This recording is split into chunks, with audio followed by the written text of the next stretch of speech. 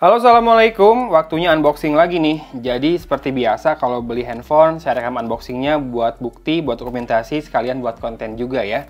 Mungkin teman-teman suka ada yang nanya, ah kok nggak pernah bahas HP Xiaomi? Ada, ah cari aja. Ini juga HP Xiaomi nih. Jadi ceritanya, ada yang butuh handphone buat upgrade gitu ya, buat kerja di rumah. Budgetnya terbatas, 2 jutaan, dan pengen upgrade. Sebelumnya dia pakai handphone dengan Helio P22, RAM 4GB, storage 64GB. Makanya saya cariin yang 2 jutaan, yang minimal RAM-nya 4 atau 6GB dan storage-nya 128GB. Ini beli di blibli.com. Kebetulan sellernya yang saya sorting berdasarkan harga termurah, dapatnya di Bandung Barat. Tapi sayangnya nggak bisa ini ya, nggak bisa pakai GoSend. Jadi tetap pakai JNE, satu hari kemudian baru sampai Kira-kira apa coba ini? Ini smartphone udah pernah saya review sebelumnya, makanya saya berani beli karena udah pernah saya coba ya. Ini kan buat orang lain smartphone-nya. Oke, kita buka pelan-pelan. Mengingat uh, bubble wrap adalah barang berharga yang sering saya pakai buat kirim-kirim paket lagi. Ya ini adalah Redmi Note 9, teman-teman mungkin masih ingat eh, video review saya yang warna biru ya dulu yang saya review. Ini saya beli warna putih. Dan seperti ini kemasannya. Masih sama seperti yang dulu, masih segel ini ya. Dan ada tulisannya, garansi resmi Xiaomi, kami buatan Indonesia. Setelah saya bayar, saya baru mikir, kayaknya ada yang lebih murah deh dari Xiaomi yang 6128 ya. Yaitu Poco M3 kalau nggak Redmi 9T. Tapi Poco M3 kamarnya 3, Redmi 9T kamarnya 4 ya. Tapi ini kan seri Note biasanya serinya lebih di atas itu dan sudah terbukti sih hasilnya. Uh, karena sudah saya coba review setahun yang lalu, ini pakai Helio G85 buat main game lebih enak sih dibandingkan Snapdragon 662 dan kameranya juga saya sudah buktikan mantap di level harganya, makanya saya beli ini aja. Yang warna polar white nih sekarang. Jadi kita akan cek kondisinya apakah benar-benar baru, harusnya sih benar-benar baru ya karena ini segel tapi karena namanya juga video dokumentasi, kita akan lihat bagian per bagian, termasuk lihat warnanya. Karena dulu saya nggak ambil yang warna polar white ya. Redmi Note 9 Pro yang saya ambil warna putih. Itu pun tidak ada gradasinya kayak polar white ini. Kalau ini kan ada gradasinya. Sedikit gradasinya. Warnanya warna yang sebetulnya bukan warna baru ya. Polar white. Tapi ini kan smartphone tahun lalu juga sih, jadi nggak masalah. Ya, dapat greeting seperti biasa dari Alvin Che. Kemudian ini yang saya suka, Xiaomi lengkap untuk level harga segini. Dapat casing, ya. Ini ada SIM tray, SIM tray ejector. Ejector, deng, bukan SIM tray. SIM tray ejector lengkapnya. Dan dapat soft case. Setelah setahunan, soft case-nya masih bagus nggak?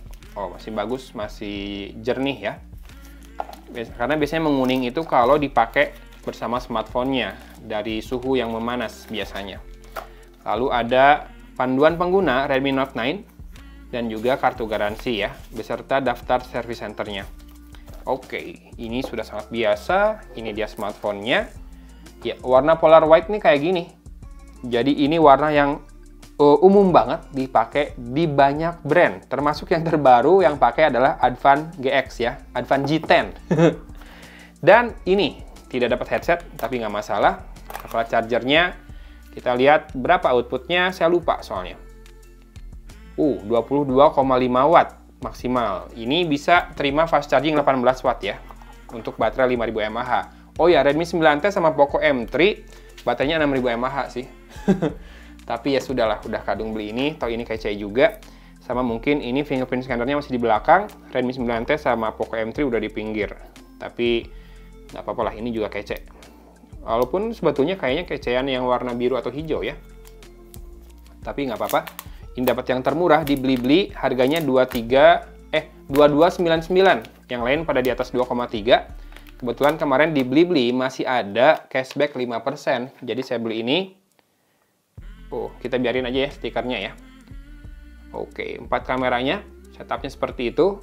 48 eh, kemudian 822 ya seingat saya. 48 kamera utamanya yang wide. 8 megapiksel ultra wide 2 megapiksel makro 2 megapiksel depth fingerprint scanner di sini yang warna ini daerah fingerprint scannernya ikutan dikasih warna aksen hitam ya Ada warna hijau kalau nggak salah yang nggak dapat aksen warna hitam kayak gini.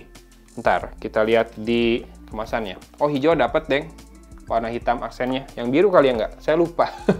Kemudian di sisi kanan ada tombol power dan volume rocker. Fuse-nya ya masih baru, tactile. Klik key juga. Di atas ada infrared blaster dan noise cancellation microphone ya. Di sisi kiri ada SIM tray yang kita akan buka. Saya ngebukanya pakai SIM tray ejector handphone lain nih. Kebetulan lagi unboxing yang lain juga. Dan ini sudah triple card slot ya. Jadi kalau misalkan yang pakai nggak cukup dengan 128 GB, biasanya cewek nggak cukup tuh. Uh, masih bisa ditambahkan micro SD buat naruh foto-foto dan video ya. Multimedia files pokoknya. Di bawah ada jack audio 3 mm, mikrofon, port USB Type-C, dan speaker grill berupa 5 buah lubang. Kita akan nyalakan buat ngeliat softwarenya, apakah yang dijual saat ini sudah diupdate dulu softwarenya atau masih yang lama, dan dapat update-nya sampai ke mana ya. Semoga sudah dapat Android 11 sih minimal. A few moments later. Ya ada kali 2 menit ya barusan atau 3 menit nunggu sampai akhirnya masuk ke layar ini. Seperti ini home screen-nya. Tadi sih waktu masuk udah MIUI 12 ya. Belum tahu MIUI berapa. 12-nya, 12.0.4 Android versinya 10 masih dengan security patch level 1 Desember 2020. Oke, apa 12 Januari? 1 Desember kayaknya ya. Kita akan cek aja kalau gitu, apakah ada sistem update? Yes. Versi 12.0.6.0. Learn what's new. Nah ini naik nih security patch-nya ke Mei 2021 tapi kayaknya masih Android 10 juga ya. Kalau ngelihat bahwa ukuran update-nya 691 eh 3 MB saja dan tidak ada keterangannya bakal ada naik Android-nya ke Android 11. Nanti akan saya update di sini terus deh beberapa screenshot dari updatean-updatean yang saya dapat setelah ini kalau masih ada hingga yang paling akhir ya. Silahkan dilihat di sini. Dari 128 GB storage-nya terpakai 19,9 GB, termasuk lagi update ini ya. Berarti free-nya sekitar 108 GB.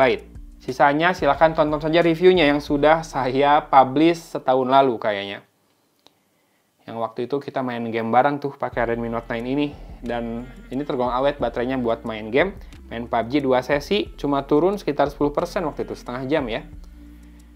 Jadi saya tidak ragu buat uh, memilihkan ini buat uh, saudara yang lagi butuh rekomendasi smartphone 2 jutaan. Budgetnya mepet ya soalnya. Walaupun mungkin bisa dipertimbangkan juga uh, Poco M3 atau Redmi 9T di harga segituan juga. Kalau mau layarnya Full HD atau kalau layar HD nggak masalah bisa pilih yang baru tuh Realme, Realme C25s. Itu 4128 kalau nggak salah ya, apa 6128 juga. Kalau enggak ya Samsung Galaxy A12 tapi itu Helio P35 kurang gegas. Kalau enggak Vivo Y20SG itu pakai Helio G80. Kalau Oppo 2 jutaan saya belum nyari. Kalau Huawei juga kayaknya nggak ada. Realme udah, uh, Samsung udah, Vivo udah, ini Xiaomi, Poco, ya 2 jutaan kayaknya itu deh. Ya, karena saya nyarinya uh, upgrade storage-nya kayaknya 64 takutnya cepat penuh ya sekarang ini. Uh, makanya cariin yang 128. Oh ya, kalau Samsung ada Samsung Galaxy M21. Itu 464 sih.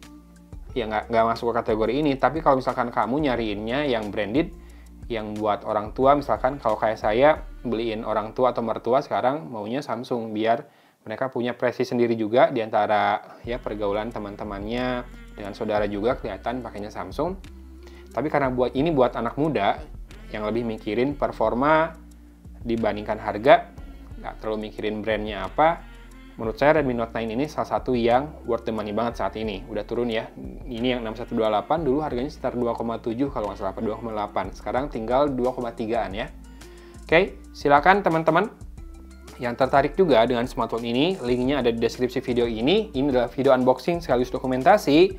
Ya, Alhamdulillah dapat barangnya baru, benar, bagus. Masih segel BNIB dan kondisinya bagus ya. Tinggal software aja nih. Kita berharap dia sudah dapat Android 11.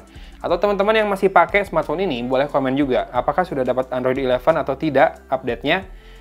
Komen ya yang udah tahu ya biar saya uh, dapat info juga. Terima kasih yang udah menyimak. Jangan lupa buat harimu lebih menyenangkan dan juga berbahagia dengan selalu bersyukur. Dari kota Cimahi, Agung pamit undur diri. Wassalamualaikum warahmatullahi wabarakatuh.